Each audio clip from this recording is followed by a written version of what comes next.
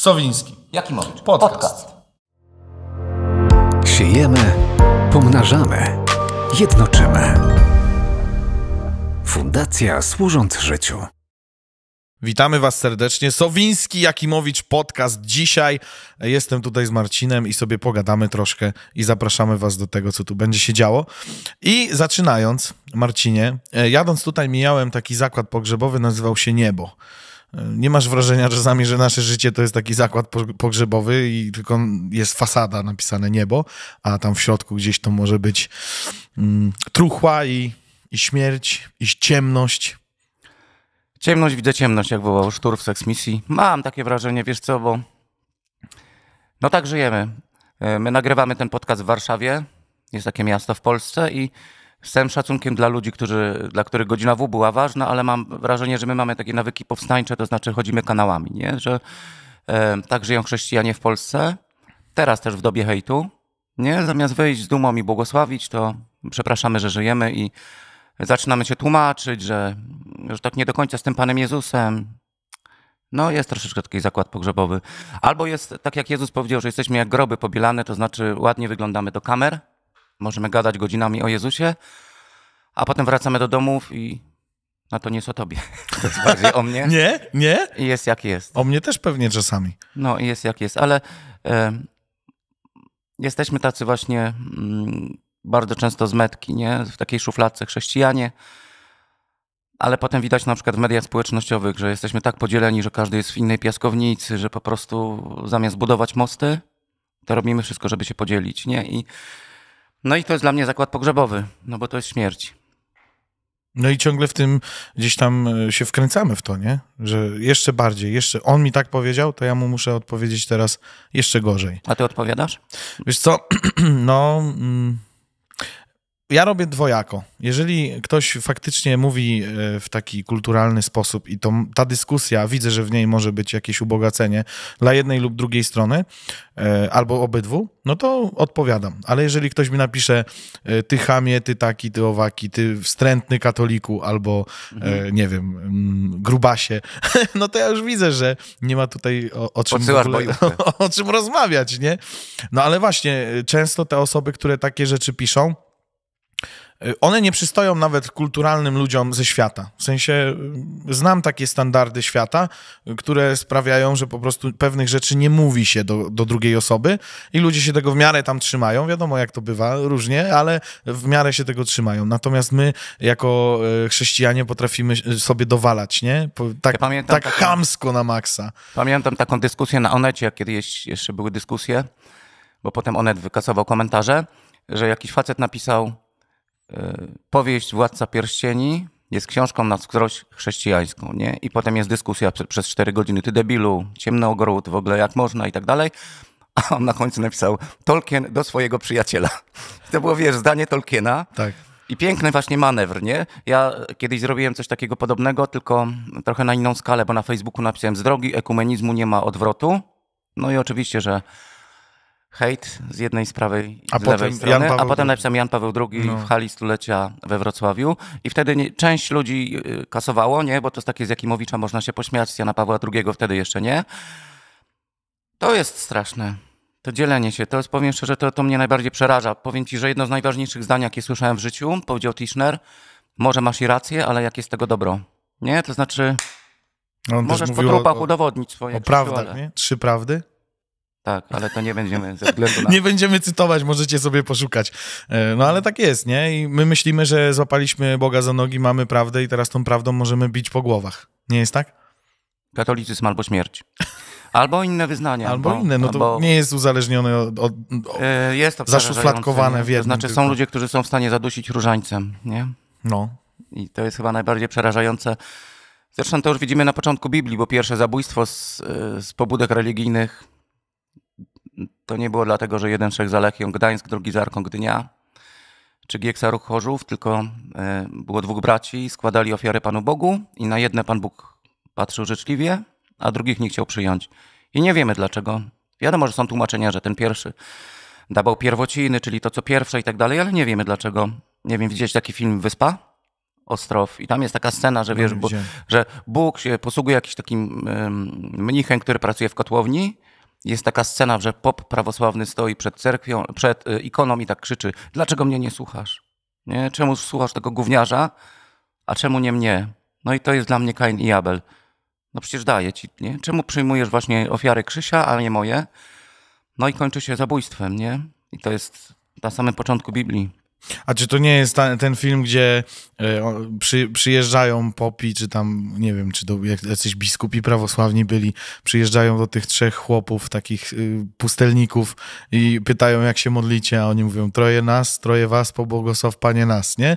I oni ich nauczyli Ojcze Nasz i y, odpłynęli na statkach i potem tamci przyszli po wodzie i mówią, e, zapomnieliśmy, co jest po tym? A tam ci padają na, na kolana i, i się nawracają, no bo widzą cud, nie? I, i czy to nie jest tak, że potrzebujemy właśnie prostoty, a nie jakiegoś takiego rozkminiania, wkręcania się w jakieś różne e, dywagacje, nawet we, we własnym myśleniu? Jest, tak ja ci powiem, że ja w zeszłym tygodniu miałem mm, najtrudniejsze y, głoszenie w życiu, bo ja cały czas gdzieś jeżdżę, głoszę, a w zeszłym tygodniu mnie zaprosili, bo był taki dzień ubogich i mówiłem do bezdomnych i całą drogę mówiłem, kurna, co ja im powiem? Nie, bo ja będę mówił do ludzi z taką świadomością, że powiem, że Bóg ich kocha i potem wrócę sobie do domu, wypiję espresso, położę się spać, wykąpię, a oni pójdą do namiotów, bo nie chcą iść do noclegowni. No, ale wiesz czemu nie chcą iść do noclegowni, bo w noclegowni musisz być trzeźwy, a oni A. nie potrafią być trzeźwi. I miałem wrażenie takiej totalnej e, schizofrenii, nie? I podziwiałem ludzi, którzy robili ten dzień ubogich i kurczę, takiej ja w życiu nie słyszałem, żeby ktoś tak słuchał. Oni nawet nie reagowali na żarty. Nie, tak stali albo siedzieli i właściwie w ogóle nie reagowali, ale jak patrzyłem na ich oczy, to no, to była taka lekcja pokory dla mnie i a propos tego, co ty mówisz, nie? Że, że... I potem widziałem, jak przyjechał jeden z katolickich biskupów, który siadł z nimi, przytulał ich. Potem widziałem e, tych ludzi, którzy zorganizowali tą wigilię, jak siadali z nimi, a to była bardzo zapachowa sytuacja. To była taka sytuacja, że wiesz, jak jeden z nich wchodzi do autobusu, to ma cały autobus dla siebie, nie? Tacy... I mi było bardzo trudno się przełamać. Mm. No i czułem się jak po prostu facet, który sobie, wiecie, wróci do luksusów i wypije właśnie a propos herbatkę czy kawę, a oni będą wychodzili, a wtedy się zrobiło minus 12 chyba, czy tam minus 11, nie? Bo to było takie uderzenie. No i tak zobaczyłem, że niewiele trzeba tak naprawdę, że wiesz co, taki uśmiech. Mała Tereska, była taka święta, napisała, że, że dla Jezusa ważniejsze niż męczeństwo są tak zwane małe nic, czyli uśmiech, wychodzisz, spotykasz sąsiada i uśmiechniesz się do niego, pogadasz z nim, mimo że nie masz ochoty, nie? Bo na przykład masz zły dzień i ona mówi, że to jest dla niego ważniejsze niż męczeństwo i to takie małe nic. No. No ale wiesz, my oczekujemy tych wielkich rzeczy, tak? Z jednej strony oczekujemy tych wielkich e, i wielu ludzi, myślę, domaga się od Boga jakichś wielkich dokonań w ich życiu, e, a z drugiej strony trudno nam żyć w codzienności, która jest Jemu wierna. Tylko, że te wielkie rzeczy zaczynają się od małych. No. Eliasz to jest prorok jak ogień. Facet ma doświadczenie tego, że on sobie powie na górze Karmel, nie, żeby spadł ogień i ogień spada z nieba. Jest nagle taka sytuacja, że nie pada deszcz bardzo, bardzo, bardzo długo. Jest genialne zdanie. Eliasz widzi taką malutką chmurkę, jak dłoń człowieka. Patrzcie, taka dłoń człowieka. Zasłonie siebie, nie? I on mówi do swojego sługi, jedź i powiedz, że zbliża się wielka ulewa. Nie? Że gdybym ja zobaczył chmurkę jak dłoń człowieka, to ja bym to olał. To jest śmiech na sali. No co to jest chmurka, Krzysiu? Kurde, teraz wyjdziemy, będzie tysiące chmurek, nie? A Eliasz ma takie wyczucie, że mówi idź i zaprzęgaj, bo zbliża się wielka ulewa. I mam takie doświadczenie, że wszystkie przebudzenia, znaczy to jest w ogóle śmieszne słowo, bo też czytałem, że to, co my nazywamy przebudzeniem, to Pan Jezus nazywa Ewangelią, ale zaczynają się od drobnostek właśnie, od tego, że no od czego się u ciebie zaczęło? Nie wiem, od wołania, od krzyku, Od od, bezradności. Tak? Nawet nie wychodziło na zewnątrz. Ale był płacz, czy?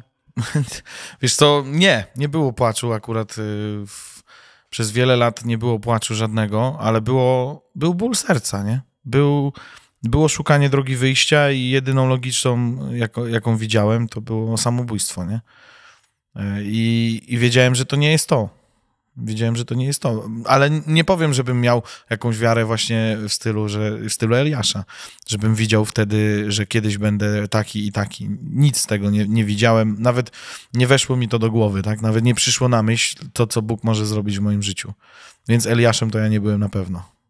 Ja bardzo często e, głoszę dla młodych i, i teraz Bóg jest świadkiem, nie? że to jest prawda, to co powiem. Po każdym głoszeniu zostaje przynajmniej jedna osoba, która się cięła albo po próbie samobójczej. Nawet miałem takie doświadczenie, że gdzieś mnie zaprosili na weekend alfa e, i ten organizator chciał, żeby te dzieciaki nie siedziały przez te parę godzin, to dał im materacy, wiecie. I ja wchodzę, jest taka sytuacja, wszyscy leżą. Na telefonach? No. Ja po prostu nikt, no wiecie, ja jestem gościem takim zaproszonym na zewnątrz, wszyscy siedzą na telefonach, wiem, że po prostu nikt mnie nie chce słuchać.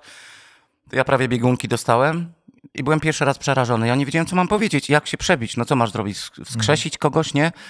I, I, była taka dziewczyna w pierwszym rzędzie, która miała fajne glany, cały czas ściągała je i zakładała, ściągała i zakładała, żeby mnie tak rozproszyć, nie? To ja w końcu przestałem na nią patrzeć, gdzieś tam się skupiłem na kimś innym i zacząłem opowiadać historię dziewczyny, która właśnie miała próbę samobójczą i kiedy skończyłem, to podeszła do mnie dyrektorka szkoły i mówi, panie Marcinie, pan nawet nie wie, że tutaj jest 40 dzieciaków, ja czworo czy tam pięcioro jest po próbach samobójczych, między innymi ta dziewczyna w pierwszym rzędzie.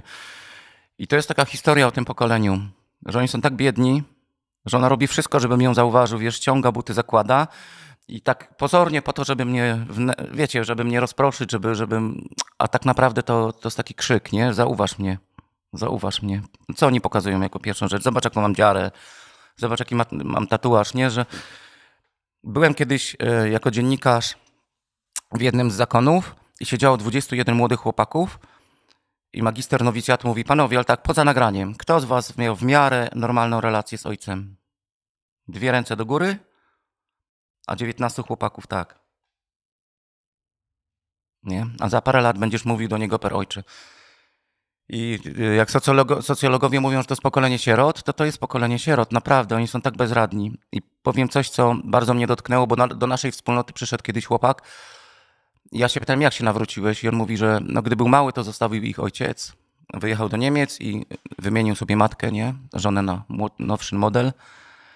No i ten chłopak mówi, świat mi się zawalił. Nie? Wychował się bez ojca, mógł straszny bunt na Boga, na Kościół, na ojcostwo, na wszystko. No ale matka go zapisała do, do bierzmowania i ksiądz za frak troszeczkę wziął ich do kościoła i ten chłop, chłopak wchodzi do kościoła i nagle słyszy, że ksiądz czyta, jak Jezus woła na krzyżu, Boże mój Boże, czemuś mnie opuścił? I cała klaska ma, klasa ma szyderkę, nie? A on mówi, a mnie sparaliżowało, bo mówi, ja miałem doświadczenie, że Jezus to woła ze względu na mnie, że, że ten człowiek na krzyżu mówi, tato, dlaczego mnie zostawiłeś? I on mówi, ja wiem, że to absurdalnie brzmi paradoksalnie, ale ten chłopak mówi, kurczę Marcin, ja miałem wrażenie, że Jezus to wykrzyczał ze względu na mnie, bo ja mam doświadczenie, że mnie zostawił ojciec i wchodzę do kościoła i słyszę, że ten człowiek na krzyżu woła, tato, tato, nie Abba, Dlaczego mnie opuściłeś? I on mówi, nigdy nikt nie był mi tak bliski jak ten człowiek.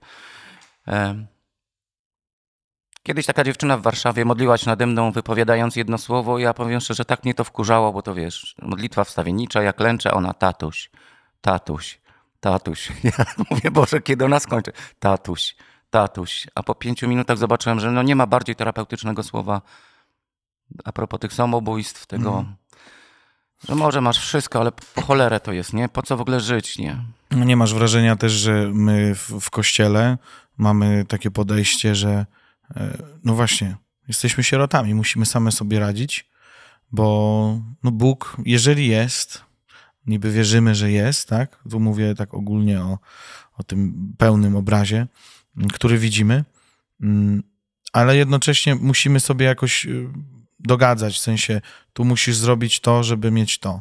Tu odmów taką modlitwę, żeby e, stało się to.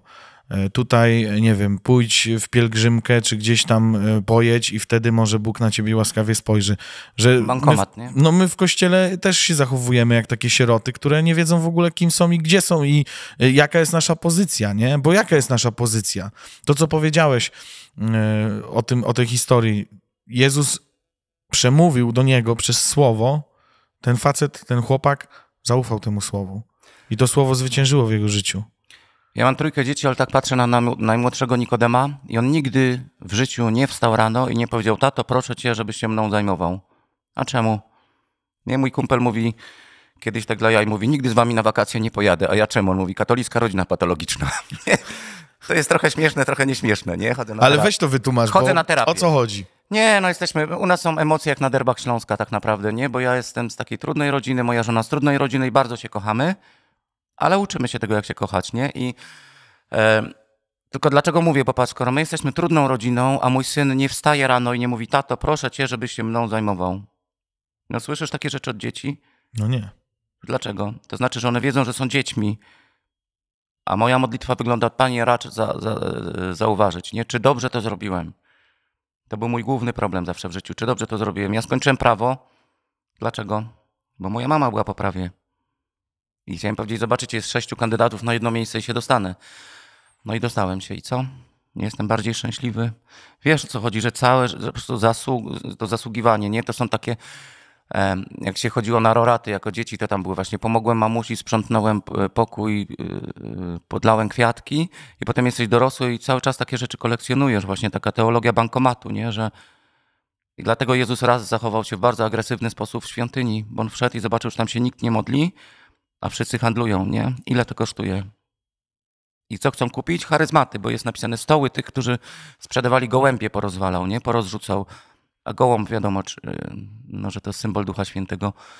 Znaczy nie, to słowo ojciec to jest po prostu największa terapia, bo e, kiedyś do naszej wspólnoty przyjechał ksiądz i mówi tak, spróbujcie teraz wymieniać atrybuty Boga. Kim jest dla was Bóg? No to mówiliśmy 15 sekund i potem nam zabrakło już tych słów. Teraz jest lepiej, już 25 sekund dajemy radę. To słuchaj, ja byłem ostatnio na takiej szkole uwielbienia, e, no i wymieniamy, tak, e, poszczególne atrybuty czy przymiotniki jego określające.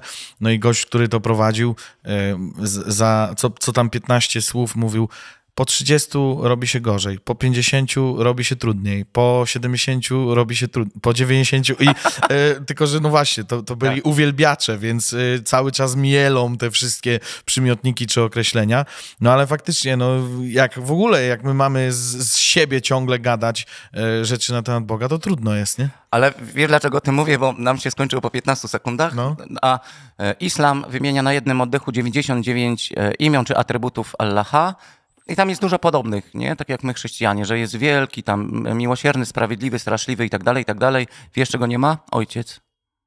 Oni nie mają tego, że Bóg jest ojcem. A ja kiedyś sobie zrobiłem, wziąłem trzy rozdziały Ewangelii od 14 do 16 Ewangelii Jana i wypisywałem słowo ojciec 44 razy. Ojciec, ojciec w ojcu, ojciec dla ojca, ojcze, ojciec, ojciec. Nie, to tak zrobiłem same taką wyliczankę na Facebooku i napisałem, nie sądzicie, że Jezus chce nam coś powiedzieć? Nie, że... I to jest dla mnie ratunek, bo wszyscy się zastanawiają właśnie, co zrobić z młodymi, którzy przestają... Oni są tak samotni, że jak oni słyszą, że Bóg jest Ojcem i to jest dosłownie Abba, ja wiem, że to się mówi, że to nie jest teologiczne, że to jest infantylne, charyzmatyczne, że to statuś. Właśnie nie. Abba to jest statuś. Czy się komuś to podoba, czy się nie podoba. To nie jest surowy ojciec. Nie? To nie jest Big Brother. To statuś. No ale wiesz, wielu ludzi y, chce podejmować taką pozę, przyjmować taką pozę względem y, Boga, że no on jest zbyt poważny, żeby tutaj miał się mną zajmować jakiś kurczę Abba, tatuś. Kurs Alfa był i ksiądz u nas opowiadał o, Jezu, o Panu Bogu, jaki jest. No. I taki facet wstaje i mówi, nie, nie, ten Bóg jest coś za dobry. A to była kwintesencja tego, ten Bóg jest coś za dobry. No. A jest, mi często Bóg mówi, że jestem lepszy niż myślisz. No. Nie jest tak z nim? No jest, moje życie duchowe uratowały 8 lat temu słowa udał mi się mój syn. Nie, w największym kryzysie podeszła do mnie dziewczyna i powiedziała, że ma takie proroctwo. A to nie jest tak, że ja idę ulicą i wiesz, na gębę dostaję proroctwa. I gdyby Bóg powiedział kocham cię, to by po mnie spłynęło jak po. Miłuję cię jeszcze gorzej. Bo ja to słyszałem 10 tysięcy razy i wyśpiewałem to i jestem uwielbiaczem, jak to mówisz. A ona powiedziała, udał mi się mój syn. I teraz jest taka sytuacja, że ja mogę patrzeć w lustro i powiedzieć, że to nie o mnie. Nie, że kurde, Boże, zobacz, moje dzieci płakały przeze mnie. Zobacz, co ja robiłem sam, jak byłem w domu. Nie? A Bóg mówi, sorry, ale ja jestem selekcjonerem. A propos mistrzostw w Katarze i w innych kaszlach. No to wiesz, ja jestem selekcjonerem i jeśli ja mówię, że udał mi się mój syn, to możesz po prostu do śmierci ze mną dyskutować i tak mnie nie przegadasz. I najgorsze jest to, że ja ciągle z nim dyskutuję, mówię, że to nie o mnie, a Bóg mówi o tobie. Nie o mnie. Bóg mówi, Marcin, jesteś wystarczający, po prostu jesteś na obraz i podobieństwo i ja strasznie mnie denerwowało to, co na przykład to, co to ty często robisz, czy inni, że wrzucacie swoje zdjęcie na Face'a Mhm. Miałem tak, tak niskie e, poczucie własnej wartości. No przecież jesteś piękny. Mm. Ale wiesz o co chodzi, że mnie to irytowało, ale teraz wiem dlaczego, nie? No. Dlatego, że miałem poczucie własnej, e, niskie e, poczucie własnej wartości. Ja do dzisiaj pamiętam, ja robiłem taką książkę Radykalni, to było 100 lat temu, nie? I Dziki powiedział do mnie, ale masz fajną koszulkę, a ja mówię, ale to nie moja, to brata. Kurde, Z Lumpeksu za 6 zł. to była moja koszulka, ale Wczorajsza, wiesz, czemu ja to wczorajsza. powiedziałem, nie? No, Jakie to było debilne, po prostu to nie moja, to brata. okłamałeś go. A taki wierzący, nie? Nasz wspólny znajomy, tutaj bez nazwisk, lider wielkiej wspólnoty, y, sam psycholog, mówi, że uczy się, jeśli ktoś go pochwali, to on zawsze mówi, nie, nie, to nie o mnie, to uczy się mówić dziękuję. A znasz to? Y, Przychodzi facet do, do gościa, tam akurat y, y, czytałem, to, to był mem, y, że przychodzi facet do gościa w zborze, który grał gdzieś tam w Ameryce, nie? Grał na gitarze, podchodzi do niego, słuchaj, wspaniale dzisiaj grałeś, naprawdę pomodliłem się, jest, jest niesamowicie. A, ten drugi mówi, to nie ja, to Jezus. A on mówi tak, wiesz co, tak dobre to to nie było. Piękne, no.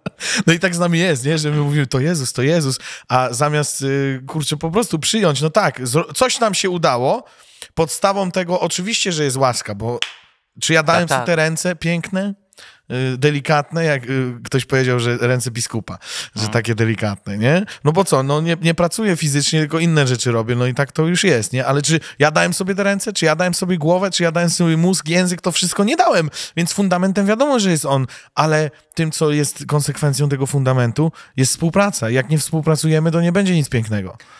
To ja słyszałem taką też, odbiję taką historię, która mnie rozwaliła, bardzo podobną. To znaczy ja mam wrażenie, że my sobie tym Jezusem po prostu gębę wycieramy, nie? Że to dla Pana Jezusa, Pan Jezus, Pan Jezus to nie ja, to Pan Jezus i że był szpital i do szpitala trafił komunista, taki karierowicz, po prostu wszyscy w małe miasteczko wiedzieli, kto to jest, nie? No i siostra zakonna, która była pielęgniarką, opiekowała się nim, nie? Pierwszy dzień, drugi, trzeci. I on w końcu nie wytrzymał, mówi, a czemu siostra się tak mną opiekuje? Ona mówi, ale nie, nie, to ze względu na Pana Jezusa. A on taki smutny mówi, hmm, a ja myślałem, że to ze względu na mnie. Nie, i to mnie rozwaliło, że wiesz, a propos tego właśnie, to nie ja, to Pan Jezus, to ja to słyszę cały czas, wszędzie, i u katolików, u protestantów, i to, jakie to jest łatwe, nie, to nie ja, Pan Jezus. E, Ilu na przykład y, internetowych mówców sobie robi zdjęcie, nie, z figurą Jezusa, czy tam, wiesz, czy, czy z jakimś obrazem, czy z figurą Maryi. A ja mam zawsze pytanie, czy oni się ich pytali o zgodę? Nie, czy Pan Bóg sobie życzy tego, żebym ja gadał teraz? Wiesz, o co chodzi, nie? Ale No i pytałeś mocne, go? nie? Pytałeś No, go? czasami czy masz pytam. tu siedzieć? czasami pytam, Czasami, czasami pytam. się nie udaje.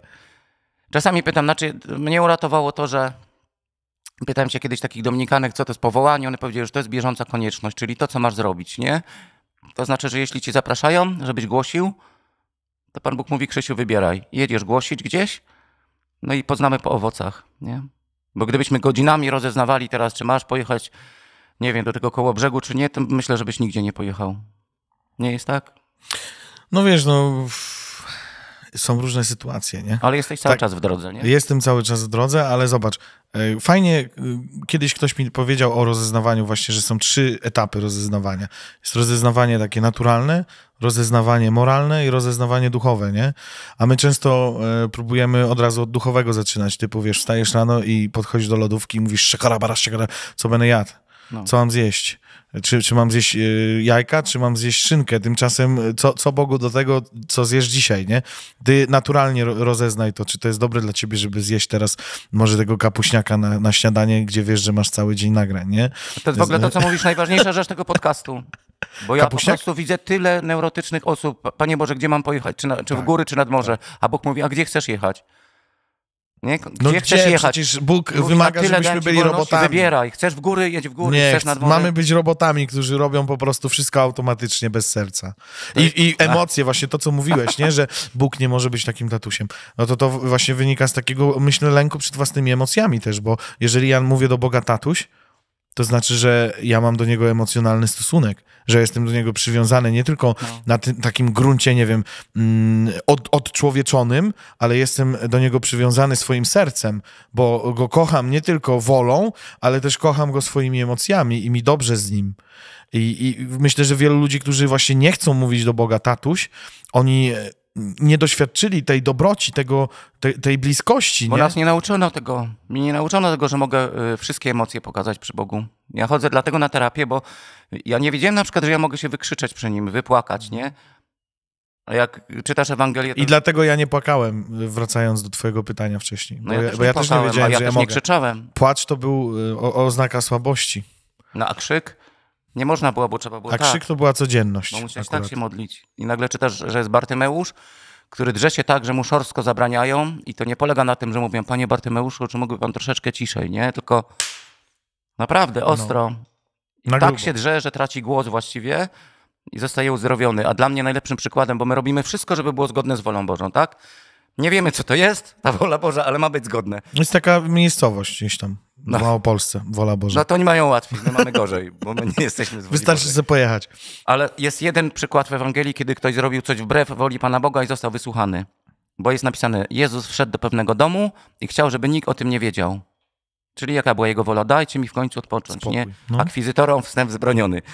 I jest napisane, nie mógł jednak pozostać w ukryciu, wnet bowiem dowiedziała się o, o tym pewna kobieta i ona wchodzi i mówi, moja córeczka jest opętana, nie wyjdę z tego pokoju, dopóki nie zostanę, nie, ta córeczka nie zostanie uwolniona. A Jezus mówi straszne słowa, bo mówi, ale to nie jest dla was, to, jest, to nie jest dla psów. To nie jest dla psów. No. A ona mówi, ale nawet jak ludzie coś jedzą i to spadnie na ziemię, to szczenięta mają do tego prawo. Jezus jest tak pod wrażeniem tej baby, syrofenicjanki, jej tupetu i te, tego, że Jezus wszedł do pewnego domu i chciał, żeby nikt o tym nie wiedział, dajcie mi odpocząć. A ona wchodzi, nie wyjdę. Że ona wraca, córeczka jest uwolniona. I mnie nie uczono nigdy takiej modlitwy, Krzysiek, na religii, nigdzie po prostu. Że patrz, o, to jest tupet, nie? Bartymeusz, ona, jak Jezus mówi, przykład, jak, się, jak macie się modlić, to on mówi, wdowa, która ma jedyny charyzmat, upierdliwości. Nie? Chodzi, po prostu mędzi, mędzi i facet już po prostu, ten sędzia już nie ma siły, mówi, dobra, już masz, idź. Jezus mówi, właśnie tak macie się modlić. Nie uczono mnie takiej modlitwy. Hmm. Skąd ja mogę wiedzieć, że się mogę rozpłakać przy Panu Bogu, że jemu moje emocje nie przeszkadzają, skoro jak moi rodzice się kłócili, to mnie to rozwalało, nie? Kiedy ja jestem zły, to to się odbija na mojej żonie. Jak Dorota jest zła, to się odbija na mnie, nie? Bo my zawsze siebie ranimy. A Jezus mówi, Marcin, wykrzycz się przy mnie. No, tylko dopiero się tego uczę. Powiem szczerze, jestem w przedszkolu niestety. Wykrzycz się przy mnie, żebyś nie musiał krzyczeć na żonę. No, Nie jest tak trochę? no jest. No jest, nie? Że Bo naprawdę z nim wszystko. możemy wszystko przeżywać, nie? I przerobić z nim. Ale mm, to myślę zachowamy na, na późniejsze nasze odcinki. Ale poszedłeś na terapię, czyli ten, ten kamyczek swój y, człowieczy dołożyłeś do tego. Powiemy o tym więcej później, jednak przed chwilą dotknąłeś właśnie sedna, mm, o który chciałem cię zapytać. Co to znaczy właśnie żyć takim życiem, e, które jest pełne owoców, tak jak owoce modlitwy tej syrofenicjanki. Jak to jest żyć tym? Bo zobacz, masz tylu kaznodziei w, na YouTubie, nie? Każdy swoją, swoją rzepkę skrobie, każdy opowiada swoje rzeczy. E, Jeden powie, że nie można uzdrawiać, albo że nie ma w ogóle uzdrowienia. Inny powie, że Bóg uzdrawia na przykład tylko tych i tych. Inny powie, że nie ma błogosławieństwa finansowego, Bogu nic do naszych pieniędzy. E, Inny powie, że słuchaj, teraz to musisz y, dziennie 15 godzin w językach się modlić. No i w ogóle jak znaleźć tą, wiesz, ten balans, jak znaleźć tą tą drogę do faktycznego życia z Jezusem, który jest życiem zwycięskim, bo On chce dla nas życia zwycięskiego, tak? To brzmi oczywiście, zaraz mogą się pojawić e, komentarze, że o, Ewangelia sukcesu. A my mówimy, wiadomo jak, sukces Ewangelii. No, dlatego, że ten, nie ma chyba e, mema, który bardziej by mnie denerwował. Bardzo pobożny mem. Kurde, co chwila go dostaję. Jak Jezus siłuje się na rękę z demonem. Mhm. I tak do końca nie wiadomo właśnie, kto wygra, nie? Jezus wygląda w ogóle jak Tom Cruise w Top Gun w jedynce, nie? Siłują się, tak, przystojniak i nie wiesz do końca, wiesz. Jeszcze uśmiechnięty trochę Raz jest. Imperium atakuje, raz kontratakuje i musisz czekać na kolejny odcinek, żeby zobaczyć, kto wygra, nie? No. To w ogóle nie jest chrześcijańskie. Dlatego, że jest napisane, Jezus Chrystus przyszedł po to, aby zniszczyć dzieła diabła. I to już się dokonało. I ktoś może powiedzieć, dlaczego jest tyle zła? Kiedyś rozmawiałem z takim teologiem i świetnie to odpowiedział. Znaczy, ja jestem facet z miasta, to, to ciężko mi było to jakoś przyjąć, ale to jest taka sytuacja, jak kurze obetniesz głowę, to ta kura biega jeszcze po placu, broczy krwią i jest strasznie dużo, wiesz, Syfu. syfu i w ogóle, yy, no. Natomiast ona już nie ma głowy. I to jest jakby sytuacja demona, o którym Apokalipsa mówi, świ- świadom jest, że mało ma czasu. Nie? To zero. Lucifer to znaczy bez cyfry, nie? Zero. On się w ogóle nie liczy. A my robimy z niego po prostu jak, kurde, jakiegoś bohatera z Marvela, nie? Który siedzi, się siłuje ręki, na rękę z Jezusem. To w ogóle, tam nie ma żadnej równowagi sił. Bo Jezus, kiedy wysyłał uczniów, powiedział, dana mi jest wszelka władza, nie 55% władzy. I tak super. Nie? Demon, my mamy 55, to on ma tylko 45. Jakby Jezus powiedział, dane mi jest 75% władzy, to i tak byśmy byli lepiej, bo demon ma tylko 25. On nie ma nic, bo Jezus powiedział, dana mi jest wszelka władza na niebie i na ziemi. I oni wtedy fuh, wyszli i dzięki temu my nagrywamy ten podcast, bo oni uwierzyli. Bo poprzednie zdanie to jest piękne. Niektórzy jednak wątpili. Nie, Polacy. Nic się nie stało. No, Niektórzy jednak wątpili. Wówczas Jezus podszedł do tych, którzy wątpili i powiedział, dana mi jest wszelka władza. idźcie. Idźcie. No. I dlatego my sobie siedzimy, a nie idziemy, ale i nagrywamy. Ale to idzie w świat. Idzie w świat. No. Bo on zwyciężył. I my mamy takie doświadczenie. No ale to co, myślisz, że to jest dla każdego, a, czy tylko dla Sowińskiego, Jakiemowicza i Dla tam jeszcze każdego. innych, którzy się, y, których nazwiska się kończą na ski? A nie, bo ja mam, widzisz, ja mam na Ty masz ocz, i czekaj, ocz. Idź. No, ale Idź, słuchaj, dla idź wszystkich, dla wszystkich. Ale wiesz o co mi chodzi, no tak żarcie. A wiesz, jak jest najbardziej polskie nazwisko na ski? Skiba. Był taki kawał. Dobra, to jest dla wszystkich, nawet dla, dla każdego i nawet dla ciebie, dziewczynko. Nie śmiej się, naprawdę dla każdego, a im bardziej ktoś czuje, że to nie jest dla niego, tym bardziej to jest dla niego, dlatego że e, kiedyś spytałem się takiej siostry, mówię, chcecie zajmować ostatnie miejsca, a ona do mnie mówi, nie da się, już dawno zajął je Jezus. Bo on jest pierwszy i ostatni, nie? Że on jest właśnie lwem z pokolenia Judy, ale on też staje na końcu kolejki. I to jest najpiękniejsze u Jezusa. Że po prostu, jak e, Izajasz o nim pisze, że to jest chyba najbardziej przejmujące zdanie w całej Biblii dla mnie. A któż się przejmuje jego losem, nie? Że tam, wiesz, właśnie zbity i tak dalej. I któż się przejmuje jego losem? Albo, że Jezus stoi, puka i mówi, jeśli ktoś w ogóle cudem jakimś usłyszy i otworzy, to wejdę i będę z nim wieczerzał. Ale to jest dopiero taka pokora Jezusa, że stoję, pukam i jeśli ktoś, jeśli nie usłyszy, to dalej będę pukał, nie? No, także to jest dla każdego, ale o tym może w ostatnim, następnym odcinku. Potem Dobra, ja, ty- ja bym ci chciał popytać. Ale, ale słuchaj, no dobra, mówisz, że dla każdego, no ale jak dla każdego? Jak to się robi? Bo ja wiesz, zawsze cisnę o praktykę, nie? Miałeś taki moment, że nie czułeś, żeby to było dla ciebie, ale postanowiłeś za tym pójść i było? W sensie, na przykład, ty się modlisz o uzdrowienie też, tak? Jasne. Dlaczego się modlisz o uzdrowienie? Bo Bo tak Jezus Pan Jezus powie- powiedział, Tak, nie? bo Jezus tak powiedział. No. Y, I przychodzisz na przykład, nie wiem, ra- ranek, y, po, pociąłeś się z, ze swoją żoną i czujesz, że no nie dałeś najlepszego świadectwa. Nie jesteś najlepszym teraz mężem, chrześcijaninem, ojcem i idziesz na spotkanie wspólnoty tego samego dnia i ktoś przychodzi do ciebie i mówi, weź się pomóc za mnie i co ty wtedy robisz? Kiedyś się nie modliłem, bo e, mówiłem, że nie jestem godny i tak dalej, i tak dalej, a teraz się modlę, dlatego że Jezus to powiedział. I ja miałem takie doświadczenie, że kiedy e, był ten przełom w naszej wspólnocie i przeczytałem, że Jezus ani razu w Ewangelii nie powiedział módlcie się za chorych, tylko uzdrawiajcie chorych, no to oczywiście ja nie umiem, a Jezus mówi, ale ja umiem. Dlaczego apostołowie zaczęli się modlić do tego stopnia, znaczy dlaczego Bóg działał przez nich do tego stopnia, że jak Paweł przechodził, to ludzie brali fragmenty jego ciuchów. Ty masz fajną koszulkę, widzę to bym wziął sobie w kawałek twojej koszulki, położył na chorych i jest napisane w dziejach apostolskich i chorzy odzyskiwali zdrowie. Kawałek ciuchów, nie? Bo on był w takim namaszczeniu chodził. A jak Piotr przechodził, to jego cień uzdrawiał. Dlaczego? Bo oni usłyszeli właśnie to zdanie, o którym mówiłem. Dana mi jest wszelka władza. I mieli doświadczenie, jakie mieli, totalnych porażek. Piotr się nigdy nie potrafił dobrze zachować, ale w końcu w to zdanie uwierzyli. Do tego stopnia, że jak Piotr przechodził i jeszcze był namaszczony przez Ducha Świętego, nie, po pięćdziesiątnicy, to jego cień uzdrawiał. Ja wtedy mogę powiedzieć, ja nie umiem, Panie Boże. I no, początek był taki, że y, kiedy y, zaproszono nas na onkologię do Gliwic, żebyśmy modlili się nad osobą, która umiera na raka, to pomodliliśmy się i ta osoba zmarła na drugi dzień. To nam podcięło skrzydła, no bo przecież na tym zaś, którzy uwierzą, takie znaki, no.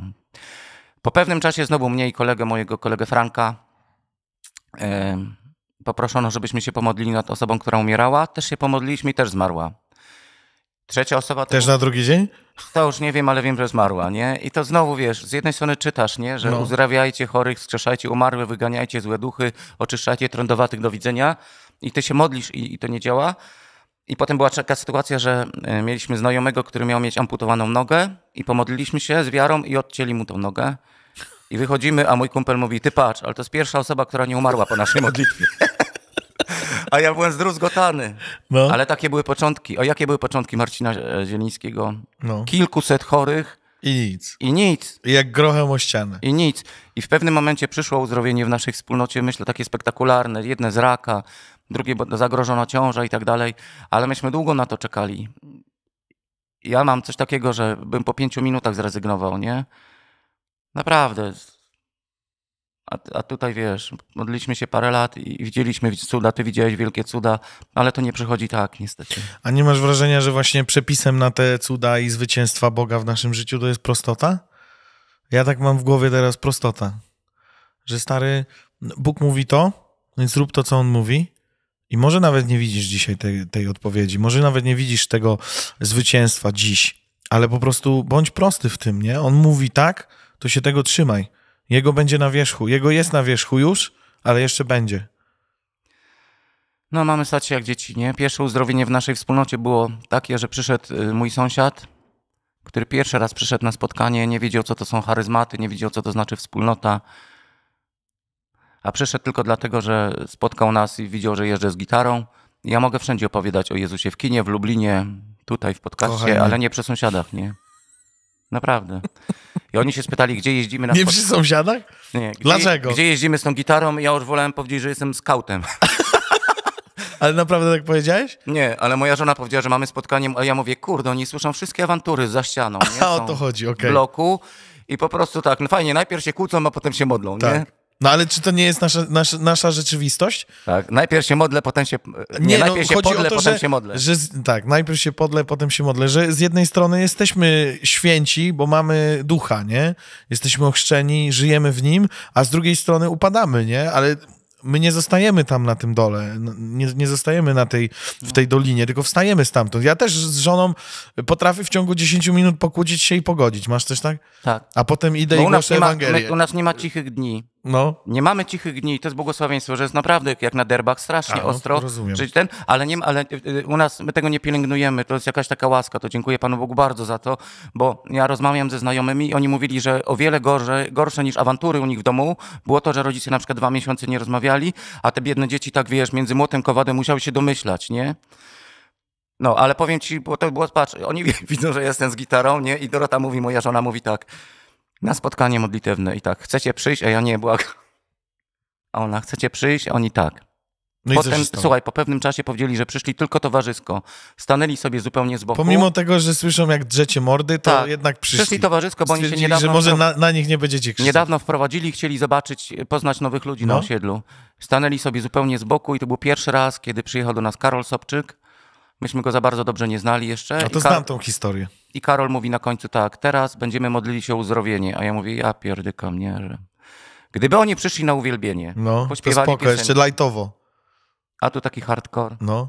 I Karol mówi, wydajemy rozkaz w imieniu Jezusa. I mówię, super, czyli ta Weronika, Krzysiu przyjdą i usłyszą w imieniu Jezusa śledziono. Na... Po prostu dramat, nie? Że czemu oni nie przyszli tydzień wcześniej? No. No i kończy się spotkanie, wszyscy poszli do domu i nagle telefon dzwoni. Ja odbieram telefon, okazuje się, że przyjechała taka kobieta z Chorzowa, która miała ogromne problemy z kolanami. Taka pani Halinka i została uzdrowiona. Że w domu padła na kolana, zaczęła się modlić. No i wróciliśmy do domu. Tylko tyle wiem, że przyszła jakaś Halinka, która została uzdrowiona. I tak pierwszego dnia nie widziałem sąsiadów, drugiego dnia też nie. I po tygodniu tak na siebie wpadamy, czy tam po paru dniach. I ja mówię, i byliście? Oni tak. A ja mówię, i co podobało wam się? Bo wiecie, tak normalnie to slajtowo się nie modlimy. A No. oni tak, bardzo, bardzo. A moja żona mówi, a modliliście się za kogoś? A oni mówią, za taką panią Halinkę. A Dorota mówi, a wy wiecie, że ona została uzdrowiona? A oni tacy, tacy mega wzruszeni mówią, nie. A Dorota mówi, a z kim byliście w grupie? A ona mówi, sama z Krzysiem. I teraz na koniec podcastu. No. Dlaczego, to, dlaczego u, u nich to zadziałało, u mnie nie? Bo ja wiem, że to niby działa, ale nie działa, bo ja się już tyle razy modliłem i nic. A oni nie wiedzieli, że to nie działa.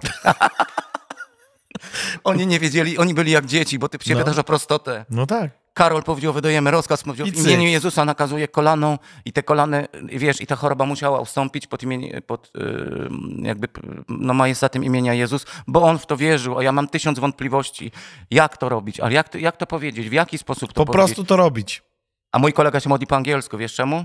Ja mówię, czemu się modlisz po angielsku? Mówi, wiesz, bo ja widziałem, że Randy Clark tak się modli. A ja mówię, no ale on jest kurde Amerykaninem, nie? Ten mówi in the name of Jesus the Lord.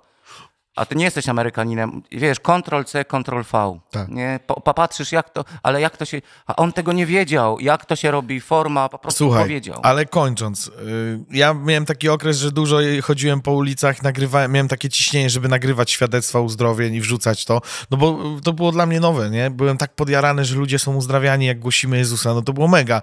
I jeden koleżka, taki y, z dawnych lat, napisał mi kiedyś wiadomość, że wiesz co, tak sceptycznie oglądałem to wszystko, ale stwierdziłem, że kurde, ja jestem wierzący, mój syn miał AZS, e, no i tam zmagaliśmy się z tym. I ty tam mówiłeś, że w imieniu Jezusa e, coś tam zrobiłeś, nie? Że w imieniu Jezusa go uzdrowiłeś. No i ja e, smarując go tam, czy, czy po prostu będąc z nim, już nie pamiętam jak on to, to powiedział, ale po prostu położyłem na niego rękę i powiedziałem w imię Jezusa bądź zdrowy. I na drugi dzień wstajemy rano, ja tam go bujam, nie? Patrzę na jego skórę, a wszystko czyste, cała skóra, całe ciało czyste. I pytam żony, czy jakiś nowy krem nałożyła, czy coś, ona mówi, że nic nie nałożyła. I on został uzdrowiony, nie? I daje ci tutaj... no I mi napisał to, tak? Po, po, nie po kościelnemu czy religijnemu, po prostu napisał jak było, nie? I to jest tak proste. Ale Tylko nie właśnie nagrywał... czasami, i czasami to Tak, nie gdybyś nie, działa. nagrywał filmików, to by tego nie zrobił. No Widzisz, właśnie. Bo to jest kluczowe dla mnie zdanie, to jest ja siałem, Apollos podlewał, ale Bóg daje wzrost. Znaczy ty masz siać, nie? Ktoś inny może podleje Mhm. nawet to, to już nawet może, nie wiem, czy będziesz to widział, czy nie, ale Bóg daje wzrost, nie? I ty nagrałeś filmik i gdyby on tego filmiku nie zobaczył, to by był bezradny, by No tak. kupował kolejny krem A on uwierzył. złotych. Ale on uwierzył, nie? I zaimplementował to w prosty sposób w życie. Po prostu. Tak o. I to tyle wystarczy, nie? Tyle wystarczy. I tego wam życzymy, kochani. Amen. Tyle wystarczy. Amen. To jest Słuchajcie, proste. Myślę, że na dzisiaj e, możemy zakończyć to, co tutaj się dzieje. Za tydzień widzimy się o podobnej porze. Jakakolwiek to pora będzie. Sowiński, Jakimowicz Podcast. Do zobaczenia z Bogiem.